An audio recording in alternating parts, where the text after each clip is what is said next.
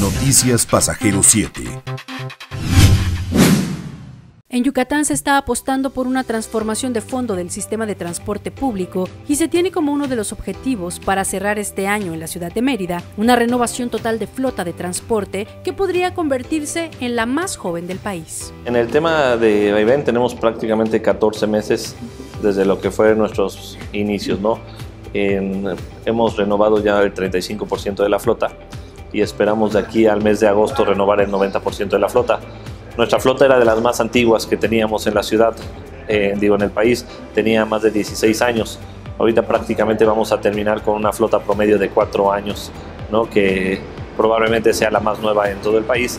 Sin embargo, eh, pues hemos venido evolucionando en cuanto al pago electrónico, las distintas formas de recaudo, la visualización en la app, para que la transformación no quede solo en nuevas unidades, infraestructura y aplicación de tecnologías, se está poniendo especial énfasis en la capacitación de operadores. Nosotros podemos tener una flota completamente nueva, accesible, que permita que personas con discapacidad eh, visual, auditiva y motriz puedan subir, eh, pero si no tenemos la capacitación con los operadores, ¿no?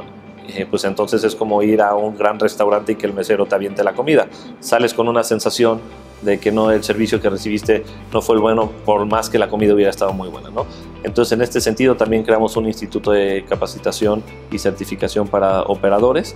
Llevamos ya más de 900 operadores capacitados para que de esta manera ellos al obtener una certificación puedan obtener ingresos más altos. Estamos con ingresos que van desde los 14.700 eh, hasta los 22.000 eh, eh, pesos ya netos, ¿no? con seguridad social, que ese es un tema eh, muy importante. Para que este proyecto no sea compromiso de una administración y avance más allá de los tiempos políticos, se ha creado la Agencia de Transporte de Yucatán como un organismo autónomo con presupuesto propio y capacidad de gestión. ¿Por qué necesitamos un organismo autónomo? Porque, por ejemplo, las concesiones ya las da este organismo autónomo.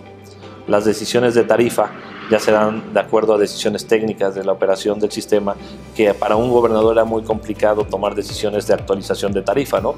Aquí pues simplemente es un organismo autónomo el que te dice, oye, si queremos ofrecer este nivel de servicio, esta cantidad de kilómetros con esta frecuencia, la tarifa óptima tendría que ser esta, ¿no? Y sobre esa nos tenemos eh, que ir pero también era muy importante que este organismo autónomo diera certeza financiera y, por ejemplo, si tú quisieras tener un arrendamiento a cuatro años en un gobierno, es muy caro.